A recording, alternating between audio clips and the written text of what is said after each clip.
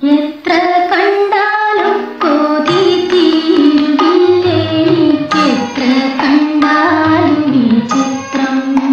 എഴുപതുകളിലെ മലയാള സിനിമയിൽ സുന്ദരനായ നായകനൊപ്പം സവിശേഷ സ്ഥാനമുണ്ടായിരുന്ന സുന്ദരനായ വില്ലൻ.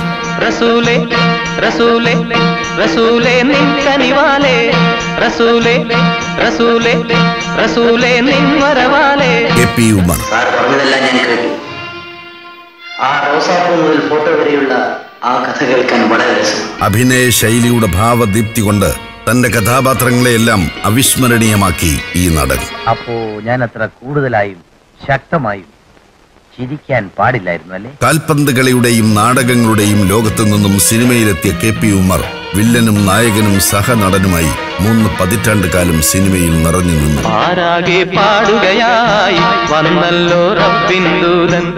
ആരാകെ പാടുകയായി വന്നല്ലോ റബ്ബിൻ ദൂതൻ. സ്മൃതി. ഞായറാഴ്ച രാത്രി എട്ട് മുപ്പതിന്.